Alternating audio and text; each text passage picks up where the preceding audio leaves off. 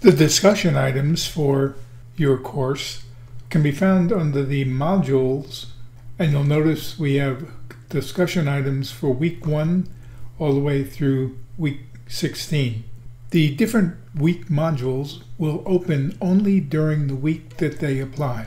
When you open the week module, you'll go to the discussion for that week and then you will be asked to watch the video in the discussion item and then after watching the video answer the discussion question posed in the video at the end of the video then click the reply button and answer the discussion question posed in that video.